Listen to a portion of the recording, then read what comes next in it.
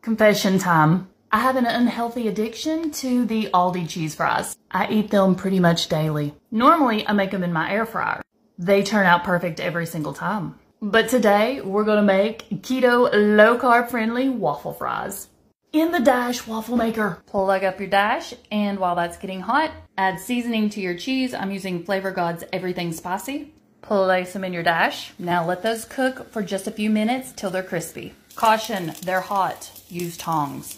Now I'm gonna make several with the pizza flavoring. You'll thank me for this one. The pizza flavored, I like to dip in the no sugar added marinara sauce and the garlic waffle fries. G. Hughes Famous Cluckin' Sauce. You have to try this. Let me know what you're gonna put on your waffle fries.